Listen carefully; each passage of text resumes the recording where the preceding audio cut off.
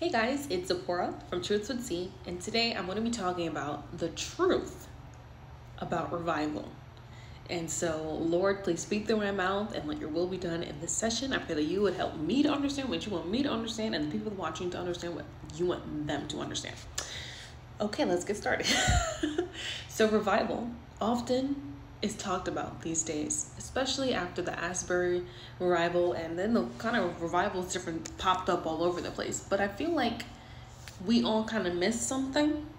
There was a key aspect of what true revival is that a lot of believers missed, and it ended up what ended up happening just meant was really just like a long worship session, a super long worship session that didn't end, and maybe people gave testimonies in between then. And I have no doubt that God worked miracle signs and wonders at those events and people actually uh, found god and different things. But i also feel like those types of events where the truth where true revival does not happen people end up just getting a very high you know dopamine and then they just go back to their regular life and they end up going back to doing what they're usually doing. And so i want to talk about what real revival is. What is the truth? So here we are. This is the definition of revival. Let's see what it says here. It says, first of all, it's a noun. It says an improvement in condition or strength of something. Then the second one says an instance of something becoming popular, active, or important again. Important again.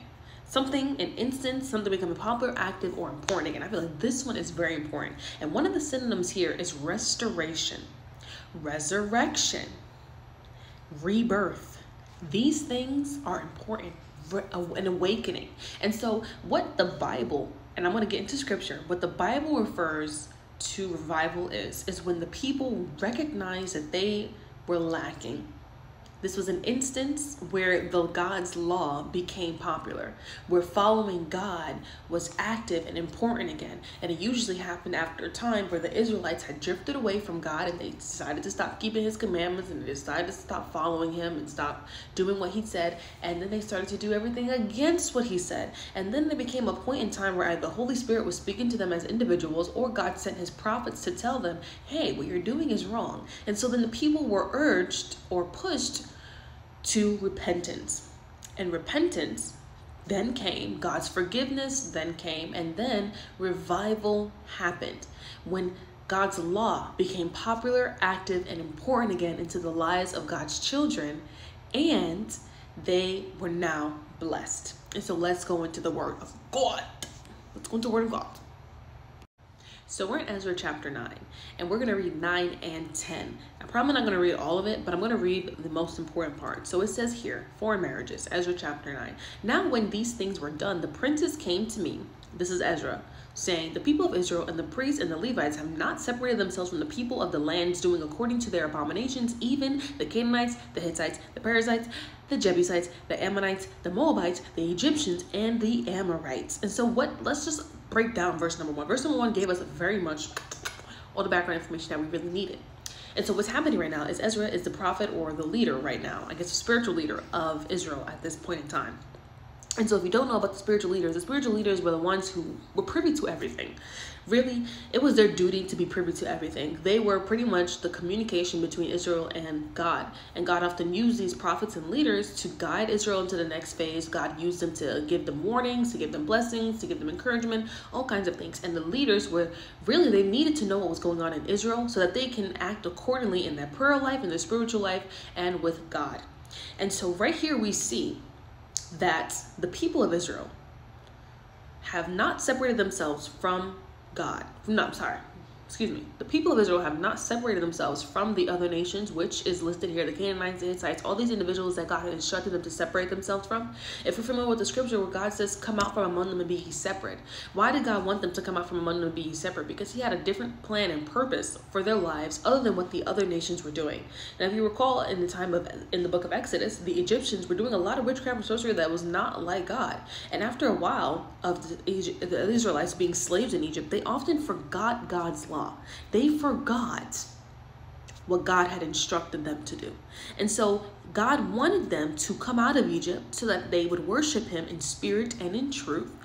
But they have continuously decided we're out of Egypt, but we're still going to be in Egypt spiritually by going back and going to other gods that are not the true and living God. And so let's go to verse 2. It says, For they have taken of their daughters for themselves and for their sons, so that the, so that the holy seed have mingled themselves with the people of these lands. Yea, the hands of the princes and rulers hath been chief in this trespass. And so, what verse 2 is telling us is that we're getting a deeper understanding of what exactly is going on. So, verse 1 says that they have done all according to their abominations, meaning they have just given in to all the temptation that they have ever wanted. The things that they, the nasty things that they've imagined in their mind, they're doing it. They're active in their their nasty doing okay and so and then verse 2 gives us deeper understanding of what exactly it is that they're doing they are having sex and marrying the daughters and the sons of other nations that God told them not to. And God uses this very interesting term here that they have, so that the holy seed have mingled themselves from the peoples of those lands the Canaanites, Hittites, Perizzites, Jebusites, Ammonites, Moabites, Egyptians, Amorites. So God did not want the seed to be mixed. He called it holy seed. That's interesting. He called it holy seed that was not supposed to be mixed with the other nations. Let's proceed with verse 3. And actually, verse 2 gives even deeper information. God says here that it's the chief, the rule, the princes and rulers have been the chief in this trespass. Verse 1 told us that it was also the priests and the Levites who were also doing it. So it's the leaders. It's the leaders of the tribes. It's the princes and the rulers of the different tribes. It's the Levites. And the Levites, if you know, the Levites were supposed to be God's priests. They were supposed to uh, be giving themselves to, to God and doing his work in the sanctuary.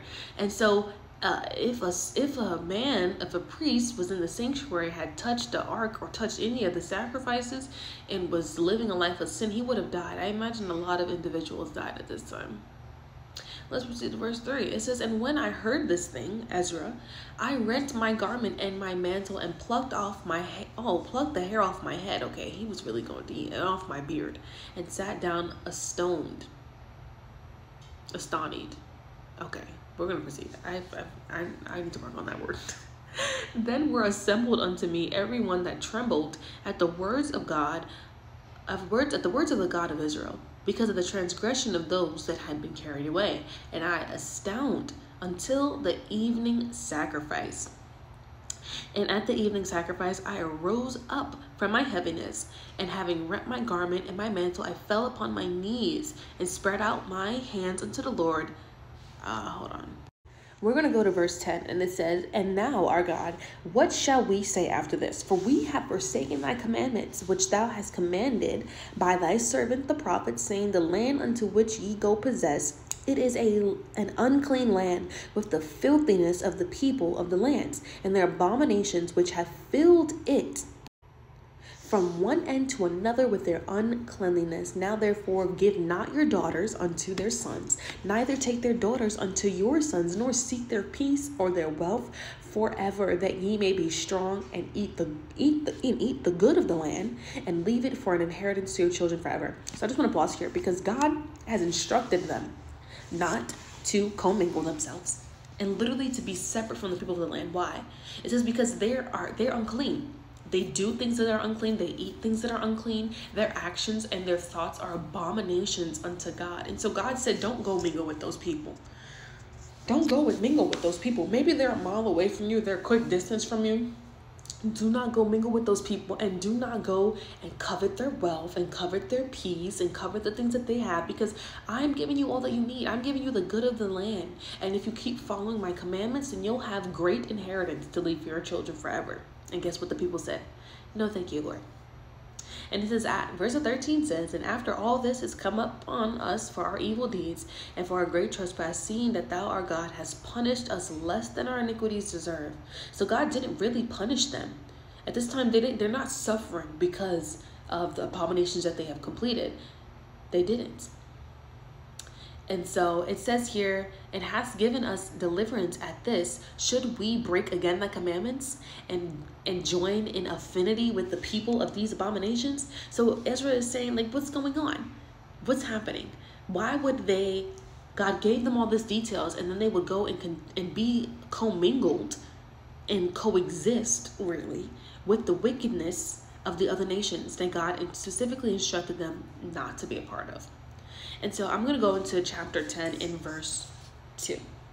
Part 2. chapter 10 in part 2.